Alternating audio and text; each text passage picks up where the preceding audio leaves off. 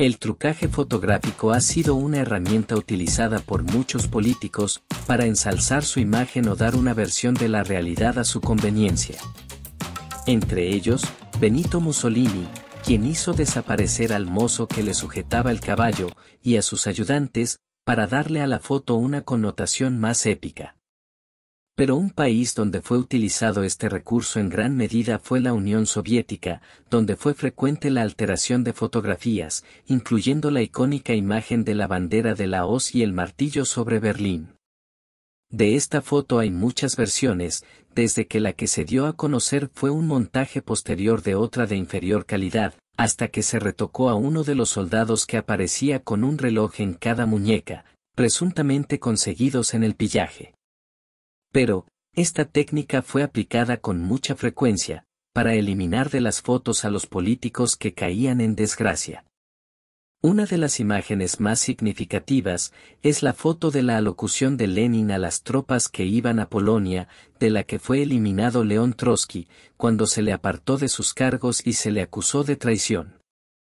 Otro caso es el de Nikolai Yesov, jefe de la Policía de Seguridad Soviética que, luego de ser acusado de traición y fusilado, fue eliminado de las fotos en que aparecía junto a Stalin. En esa época, las imágenes eran cercenadas con un escalpelo muy afilado, se ocultaba el corte con un aerógrafo, y luego se sacaba una foto de la nueva imagen, para presentarla como si fuera la original. Los revolucionarios cubanos también utilizaron un mecanismo así para eliminar a figuras históricas que se volvieron incómodas. El doctor Sergio López Rivero contó que, en los años 90, le mostró a un estudiante cubano de historia el reverso de un billete de un peso de la emisión de 1961, y le pidió que explicara lo que veía. El futuro historiador describió la imagen como la entrada de los revolucionarios, encabezados por los comandantes Fidel Castro y Camilo Cienfuegos, en La Habana, el 8 de enero de 1959. Luego, le mostró dos copias de imágenes reales de ese acontecimiento, y le pidió detectar las diferencias, entre las cuales el joven identificó la ausencia del comandante Uber Matos, quien en el año 1959 fue condenado a 20 años de prisión.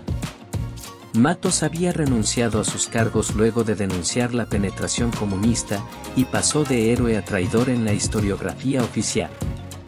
En defensa del diseñador puede argumentarse que se trató de una interpretación artística, pero ello no quita que se manipuló la realidad.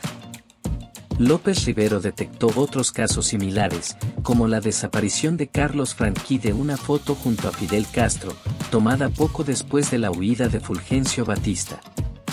Franqui partió al exilio en 1968, luego de haber sido considerado un ideólogo de la revolución y, probablemente, uno de los responsables de la eliminación del comandante Matos del reverso de los billetes de un peso.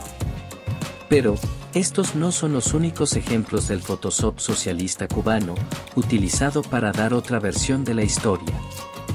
Si conoces algún caso más, puedes incluirlo en los comentarios de este video.